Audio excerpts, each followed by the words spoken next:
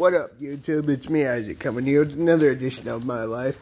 So while we were out at so while we were out at a Goodwill while we were in Chicago, my mom found two things that I could add to my Disney collection.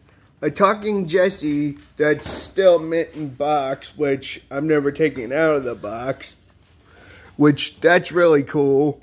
And I don't know where my uh, I don't know where my Buzz Lightyear Squishmallow is, or else I'd show that off too. Oh yeah, my mom said she had to wash it, but I think it's isn't it over here still? Oh, my mom has it. The Squishmallow. I've avoided I've wanted to get into collecting squishmallows for a while, but I know that if I do, my entire room would be covered in squishmallows once I got one.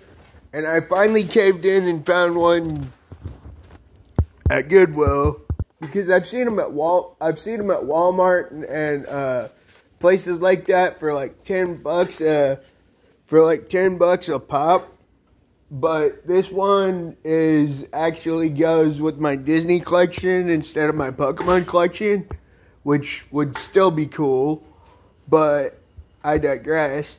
I imagine everybody knows that Woody is not a. Yeah, but that's really cool that I found a talking Jesse doll. Well, action figure.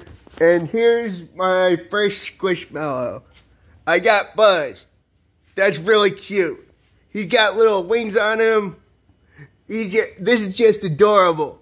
The wings move. This thing's just adorable.